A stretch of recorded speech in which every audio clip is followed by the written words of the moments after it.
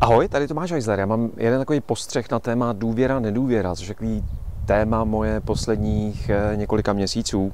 Tři takové příhody, které se mi staly teďka během posledních 14 dní. Eh, první, eh, to byla situace, kdy Péťa, moje manželka a já jsme měli jeden klíč a jsme se dostali do bytu. A Péťa potřebovala jít dřív, aby se mohla převlíknout a jít na schůzku. A my s Týnou, s naší dcerou, jsme byli ve městě a domluvili jsme se, že nám Péťa ty klíčky, aby my jsme se s Týnou dostali do bytu, nechá u květinářky.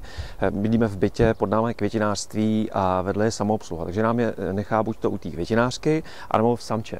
A trvalo asi 10 minut a volá Péťa a říká, že, že ji odmítli i tam, i tam, že to prostě pro nás nemůžou udělat, protože kdyby se nám přeci něco ztratilo v tom bytě, tak za to prostě budou moc oni a to si rozhodně nevemou na triko.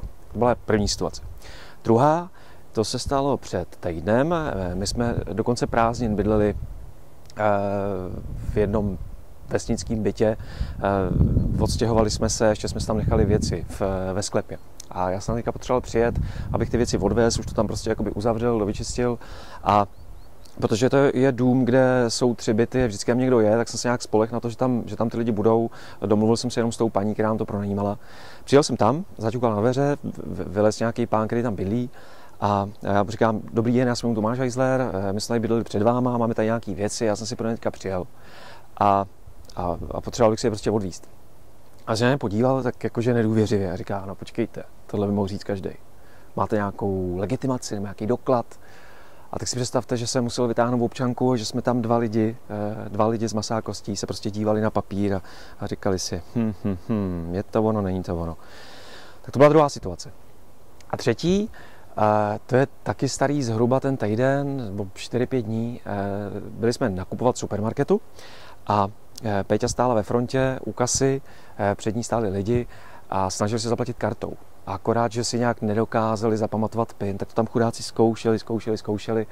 Ten nákup stál něco k pětistovce, tak Péťa prostě vytáhla pětistovku a, a, a, a dala jim mi s telefonním číslem a ti to prostě že si jakoby vyměnějí číslo účtu potom a že, že nám ty peníze vrátí. Jo, jen tak. To mi to jakoby strašně nadchlo.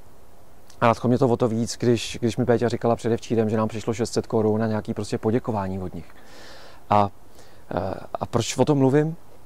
V podstatě ty dvě první příhody eh, se od té poslední, od té třetí lišej, jak nebe a noc mně přijde, jo? Že, to je, že to je fakt jako ukázka takového toho světa v těch prvních dvou případech, kdy si, kdy si nevěříme, kdy papír je důležitější než člověk, kdy musíme mávat, mávat v občankama, kdy se musíme jistit smlouvama, kdy koukáme, kdo po nás kde, kdo po nás kde jde, kdy nevěříme jeden druhýmu, kdy se bojíme, že nám udělají něco zlýho.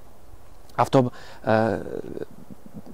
té situaci, kdy těm druhým lidem věříme, v té v třetí příhodě, tak tam, nebo v, v tom třetím případě, tak tam, tam prostě jakoby nějak si říkáme, věříme prostě, že ty lidi se zachovají dobře, že ty lidi se zachovají tak, jako by jsme se zachovali my, eh, že se na ně můžeme spolehnout, že jim můžeme důvěřovat.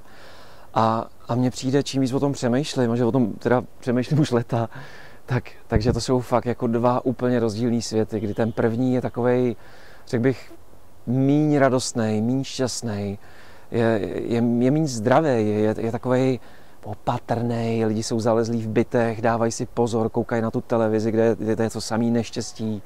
A, a mně se v tom světě, který stojí na nedůvěře a papírech a jištění, takže se v tom prostě nežije dobře.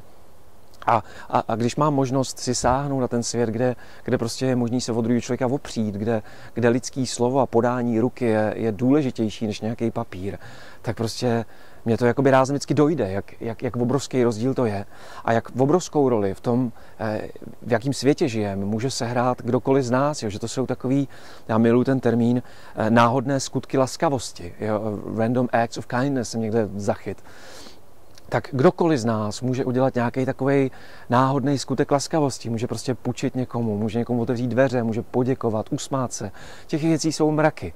Jo, my z toho důvodu jsme s kamarádama před asi dvěma lety udělali eh, projekt Naplň Belík.cz naplň Belík.cz a kde je spousta inspirace na tyhle ty náhodné skutky laskavosti. Jo. A, a já v to strašně věřím. Jo. Vidím, vidím, že je to jako, jako chřipka, že to je prostě jako virus, eh, ať už ta nedůvěra nebo důvěra. Jo. Že, že když prostě uděláme něco, něco křivýho, když požadujeme po druhém smlouvu, papír, občanku, tak prostě on to pravděpodobně bude požadovat po druhých lidech taky. A na druhou stranu, když někomu otevřeme dveře, usmějeme se, poděkujeme, eh, uděláme prostě něco fair, ty lidi se na nás můžou fakt spolehnout, tak stejně tak je to prostě nakažlivý. Zase ty lidi to prostě pošlou dál.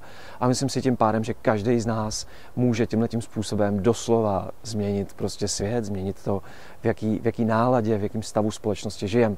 Tak tak to je všechno a cokoliv k tomu budete mít, eh, prosím do komentářů a, a jestli neznáte naplňky belík.cz, tak se na to prostě mrkněte a, a nechte se tím případně inspirovat. Tak to je všechno. Děkuju. Ahoj.